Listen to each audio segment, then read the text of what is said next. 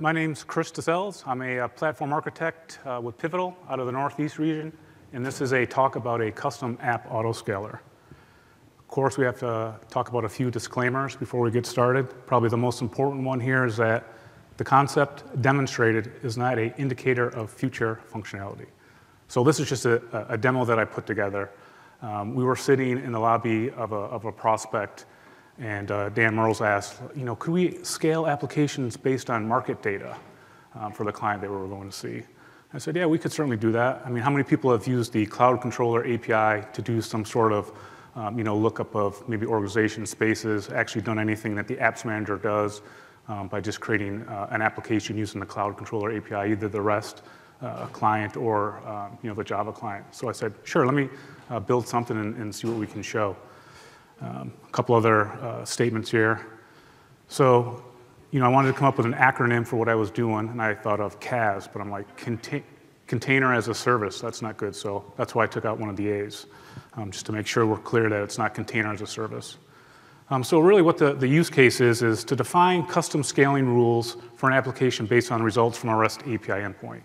If we think about Um, APIs that are out there and available, whether it's third-party APIs or even APIs that we're writing, we're typically writing uh, REST endpoints that produce some kind of JSON. So I said, "Why don't I define the ability for the scaling for any REST endpoint?" So to build the UI that allows someone to define a scaling rule based on that endpoint, and then they can pick the elements that that JSON returns to define what the rule is going to be, and then actually have uh, something that a worker that runs every 30 seconds, just like the autoscaling does, to actually validate the rule, actually make the call to that REST endpoint, and determine whether or not it needs to scale the the application either up or down, depending on what the rules are defined as.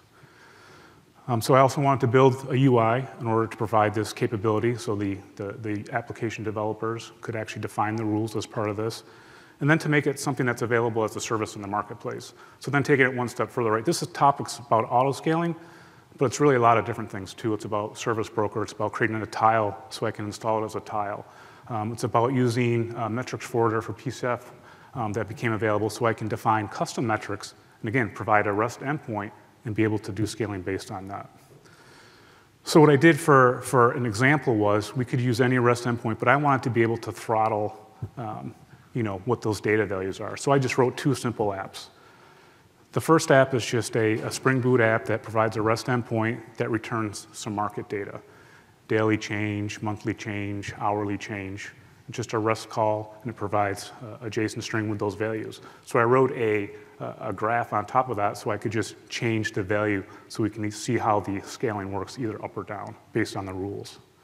So this is a sample of the output. Right? This is just an app that I have running on PDubs. It returns uh, a JSON string, and then I have some UI that I can actually change what the values are um, for that for that return. So this is independent of the autoscaler. It's just an app that I have on the side uh, to provide that REST endpoint that I can use as part of my scaling rule. The second example, which was just a newly added addition uh, to this demo, because what happened is that part of the um, Metrics Forwarder for PCF is you have the ability ability to Um, send data to the Firehose and be able to read that out, whether it's custom metrics or maybe it's actuator metrics as part of the Spring Boot app. So what I wanted to do is um, the PM actually wrote a, an application. It's called Custom Metric, not Firehose, which I initially had in here, Firehose Reader, um, which is a Spring Boot app to collect and aggregate custom metrics via a REST endpoint. So this application, I can define with an uh, app GUID and then what the metric is that it'll listen to for a particular application.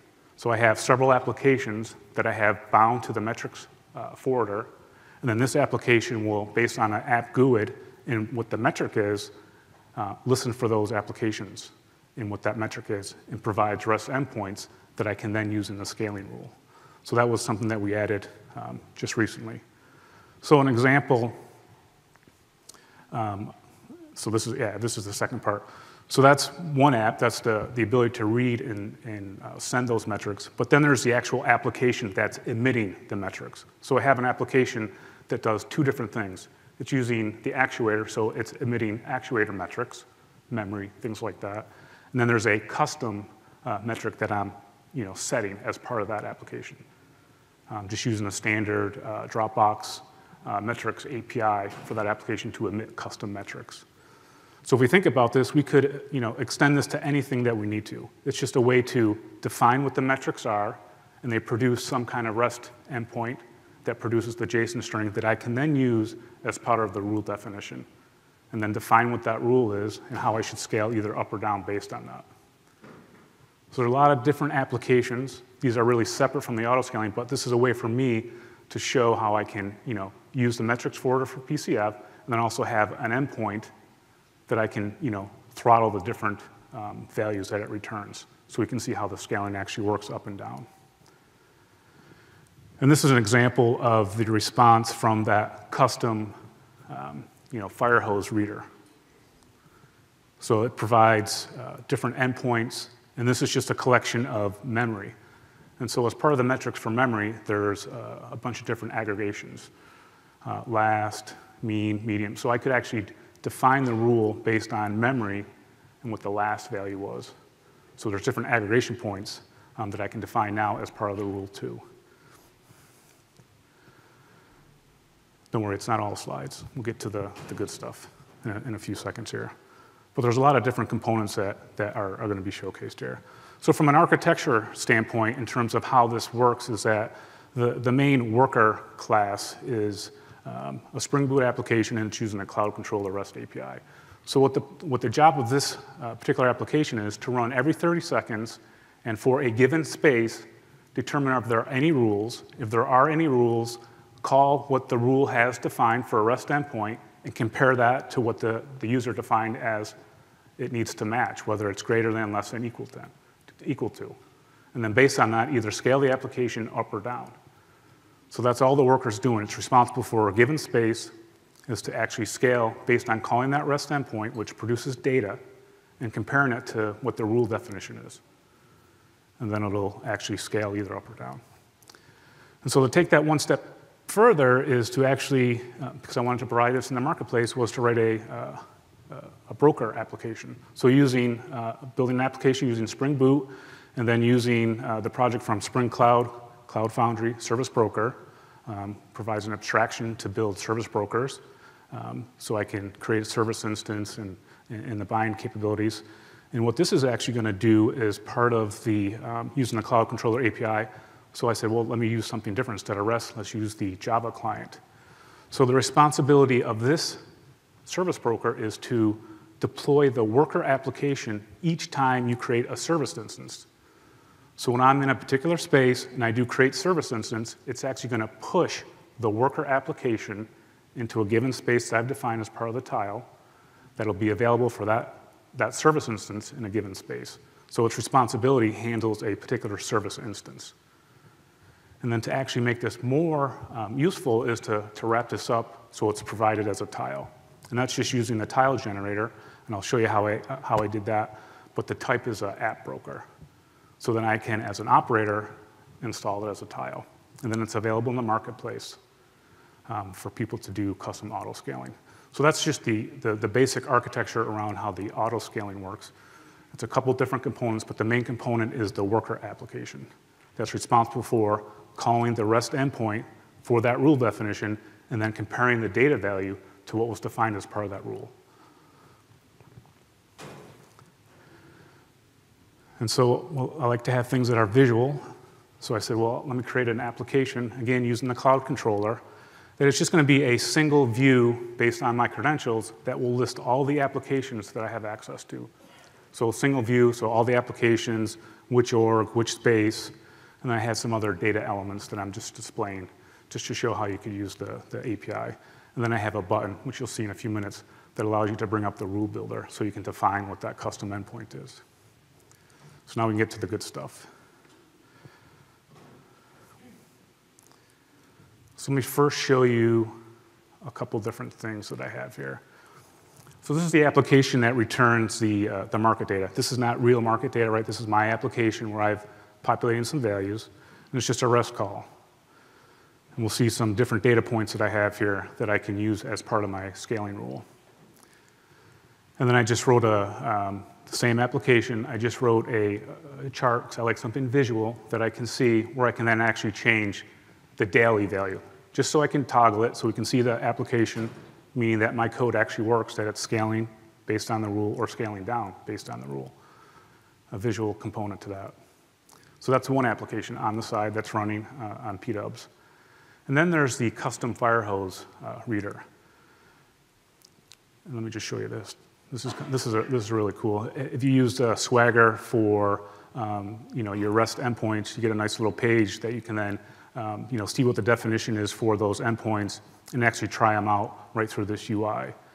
So this has a couple different um, you know, controllers that are part of it, but what's most important is the first thing you need to do is tell it you know, which application that it should be reading metrics from.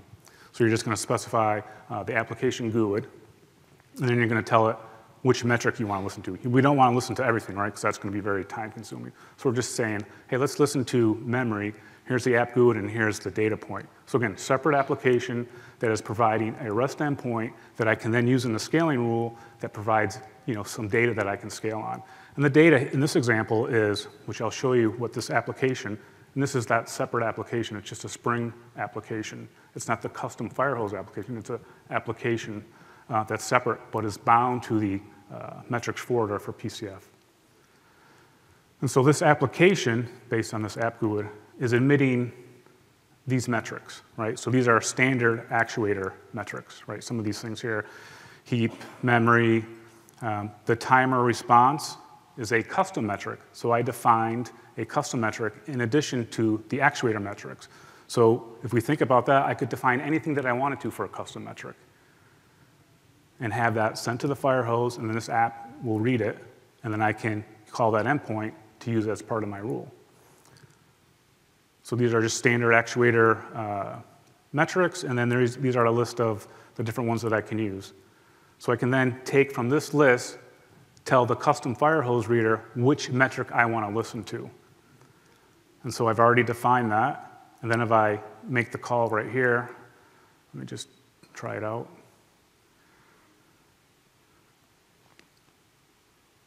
So for the memory, this is the JSON that is returned, right? So it's showing me the last, the average, and the max. So I could just copy this URL to define in my rule where I want to build my scaling based on. So in my example, I'll say scale based on memory, or which element of the memory, which aggregation do I want to use. So two different variations, but the concept is the same. A REST endpoint that provides some kind of data that I can define as part of the scaling rule. So let's go to another application. Let's go here. So I'm just running this locally on my machine, uh, just as a, another mechanism for running an application, not somewhere in the cloud. And what this is going to do is provide me the UI using the Cloud Controller API to list all the applications based on the permissions that I have and to define those rules. So let me just run this app.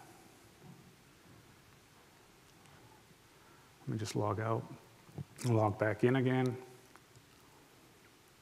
And so what I did is I, you know, requested for, uh, based on that username and password and what the system domain was. So I can use this, um, you know, whether it's going to be for uh, my PCF uh, foundation that's running on GCP, or I could point to PDubs, and I'll run that uh, later. So what it's doing is just listing out. And again, the example is using the cloud controller. So listing out all the applications, and I'm just printing out uh, you know, the org they belong to, the space they belong to, number of instances, the build pack they're using, the last push date, and then restart, and then the button on the right is where I can define what the custom rule is. So I can just scroll down here and define what the rule is. But before I do that, let's actually look at a couple other pieces to this. First, let me show you the, the tile. So here you'll see that I have a, a, tile called the custom app autoscaler. This I used the tile generator for, and it's of type app broker, which is actually taking my service broker app that I wrote using Spring Cloud Cloud Foundry Service Broker project that includes the jar file for the worker. So every time I create a service instance, it will deploy that application into a specific uh, organization slash space.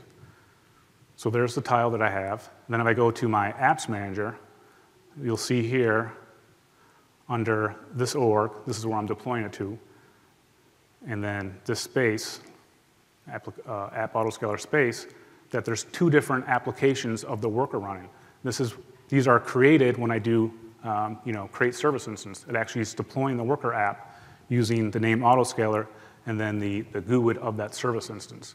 So every time I create a service instance, it automatically pushes that application um, to this space to do the worker for that, for the rules in that area. So let's go back to the point here, and let's, let's take a look at this one here. So in this org, in this space, the, the PCF demo, I have this app here. It only has one instance right now. So the UI that I wrote is, you know, define what the endpoint is. So let's just go and copy that endpoint. Control C, come back here. Since I added uh, LastPass to the browser, you don't get to see my nice checkbox. So I didn't want you guys stealing my password when I logged in, because I know this is being recorded. So what happened is it, it, validated, there's a checkbox there. If I need to pass a key, it'll pass a key. But what it did is it populated um, you know, the rule with all the elements of that JSON string. So, so no matter which um, URL I put in here, it's going to read the JSON string and then populate the elements that I can use for the rule. It's just providing a cleaner way so someone doesn't have to type something in. So we'll just, we'll be really specific with this rule. And we'll say minimum instances, two, and then four. So we'll hit create, and then let's go here. And so here's what's happening. So we just did that rule. And you'll see immediately what happened was we were at one instance and it said, hey, look, there's a rule defined here now, but the minimum number of instances are two. So it's going to scale the application up to two instances. The rule hasn't been met because, right, we want to compare the value of 0.09 to the um, you know, day change, which is only at uh, 0.05. So it's just running every 30 seconds, and it's checking whether or not it needs to scale the application. And the next iteration is right to say, no, we don't need to scale because the rule hasn't been met. So if I go back to the UI of this little app that I have here, right? Here's the data element that it's getting as part of the rule when it's checking every 30 seconds. Let's go back and what did I say that was going to be? I should have did a, a, a greater than, but um, 0.9, okay. That's pretty easy. So we'll just do 0.09, change that, go back here. We'll see that now the day changes 0.09. And then we come back in here, next time that the rule is going to run, right? Whoops, 0.8. I, I, I should have worn my glasses. Change that back to 8. And this is why I have the UI, so I can just kind of toggle this stuff back and forth. And so the next time it cycles through, it's going to know that it needs, based on the rule definition, to actually scale the application up or down. And so that's what the purpose of, of the, the endpoint is, is to be able to see that, and here we'll see that it's doing the post, so now it's scaling it up to three instances. And it's just based on the rule definition. The key is that every 30 seconds, it's going to call that REST endpoint that's defined for that rule and compare it to the values that are defined um, in the UI that were defined, right? In this case, I said equals, day change equals 0.08. And then if I toggle this back down, we'll see that it's actually going to throttle the stuff back down changes to 0.4. We hit change, come back here, we'll see the elements back down to 4. We go back to the um, scaling, you see that it already went back up to 4, and then the next iteration will start scaling it down one instance at a time because the rule hasn't, uh, isn't met anymore. So the responsibility is to actually scale that back down. So that's the, that's the purpose of um, you know, the, the REST endpoint, um, being able to use that. The other, the other thing that I wanted to do was, um, if we take a look at, so here, here we're seeing that it's scaling down, right? So because the rule hasn't been met anymore, scale equals false, let's scale it back down to what the minimum is. So a very simplistic example of how the cloud controller is used, um, you know, making different calls to actually set what the data elements are for a particular application. In this case, we're scaling uh, instances either up or down based on a definition of what a rule is. The rule is generic enough because it's just a REST call. A REST call is returning some data elements. What's the data element? what are we comparing it to, and then running every 30 seconds. And then let's, let's do one other thing. Let me just, let me log out here. Let me go.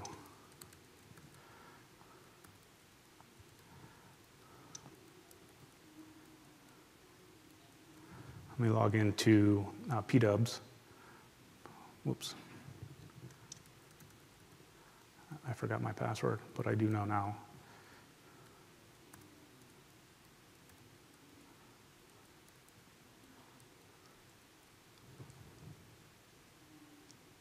And while this is running, let me just show you uh, a couple different things here. So I said that I have a, a, a, tile, right? We saw the tile in the ops manager. So if you've ever taken a look at the tile generator, right, it supports different types. Um, let me just come to the top here. You know, what you're gonna do is um, install the tile generator, and then you can use um, different types for what you're trying to do from a service um, that you're providing. So in my case, right, I have a service broker. So all I had to do was um, these are the different types that you can define as part of the, the tile uh, definition. So here's a, a, standard application. You can define some of the, the values for how it gets pushed. Um, and if we scroll down a little bit more, we'll see here's a service broker. The only thing that I needed to do was the name, to type, any uh, information that I needed to when I pushed the application, and then if I needed credentials, and if it was going to enable global access. So the only thing that I had to do Let's bring this up.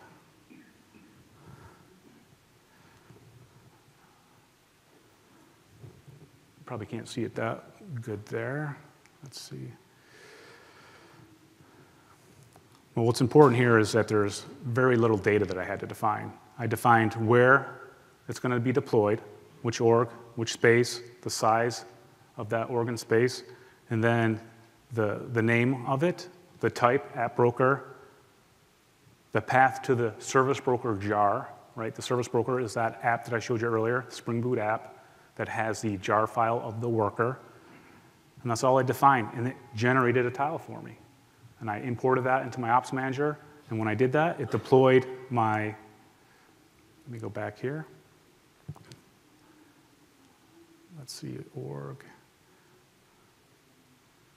And if you, if you notice the, the tile when we're in Ops Manager, it was at version uh, 0.0.13. So this is the service broker application it deployed for me, which is using, it's a Spring Boot app that's using uh, the project Spring Cloud Cloud Foundry Service Broker. So that's the uh, service broker application. And what happens every time I create a service instance, it deploys the worker into the app autoscaler space. So those are the two major components. So I can go into the um, particular space, do create service instance, it'll deploy that as an application.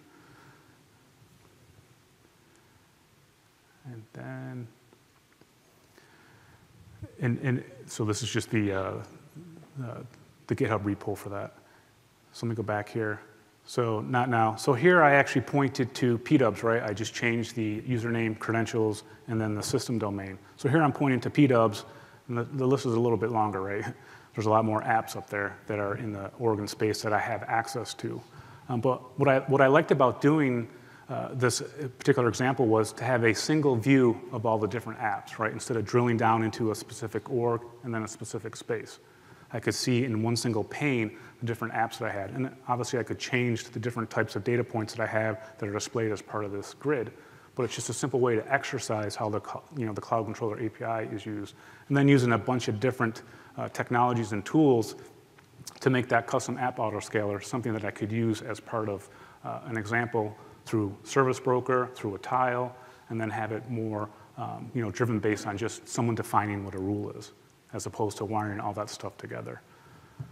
And that's, that's just the example that I have from a, a custom app autoscaler. Yeah. Any, any questions?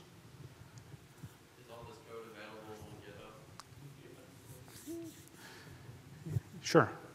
I, I got to clean up a little bit. Yeah, it def- definitely is. Yeah, oh, yeah, yeah. By the end of the week, yeah, yeah. I, I cleaned it up a lot, right? And there's, there's a lot of different things. I just got to remove all my, like today during the, the, the, keynote, right? I think someone had a slide and, and they were doing if array element zero equals array element I don't have code like that. It's better, better than that, but yeah. that was pretty hard coded, right? No, no uh, data checking on that. But yeah, there's a bunch of different components that make up this, but you know, at the end of the day, it's, it's a really simplistic example of Cloud Controller API, service broker, and then being able to generate a tile.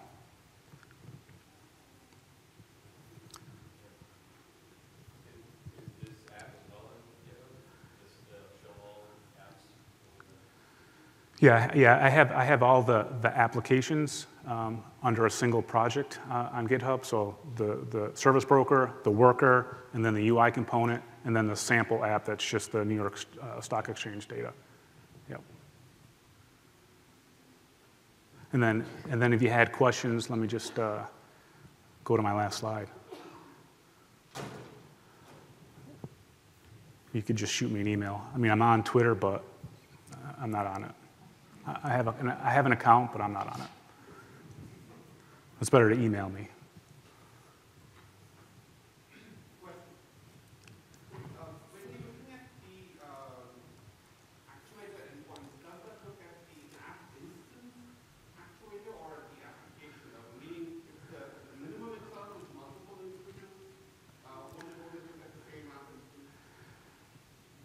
Yeah, yeah. So, so it's looking at the application. I guess we, uh, as part of the actuator, it would define which instance, though, right? That it's that it's using. Right, so meaning it- it- it's always scaling based off that one instance. Yeah, right, right. Yeah, yeah.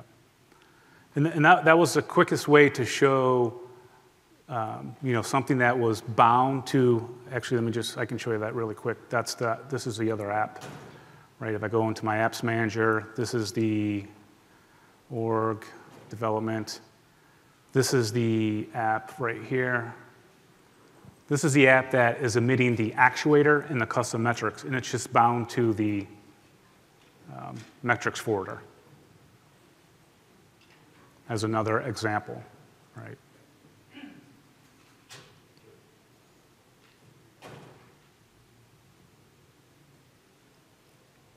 Also, just as a product-wise question, I mean, this seems to be a big gap almost, right, I mean, in in the portfolio and having a good auto-scaling capability. Is there any thought process on why it hasn't been taken up and moved forward at the product level?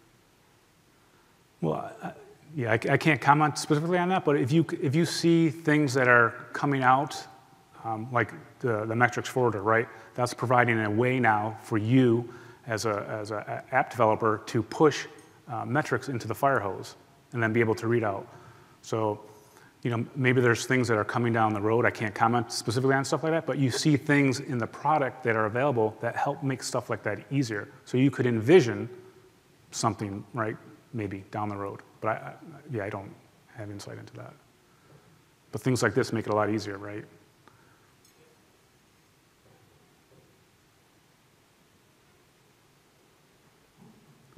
All right, thank you.